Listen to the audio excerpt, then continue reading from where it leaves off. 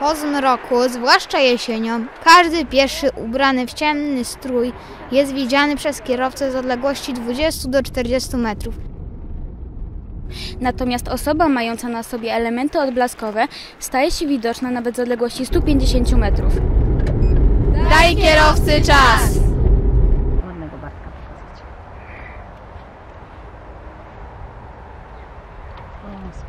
Właśnie to chodzi.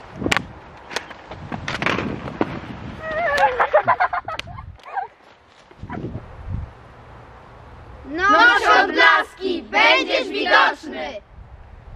Nasz projekt został dofinansowany przez samorząd województwa mazowieckiego.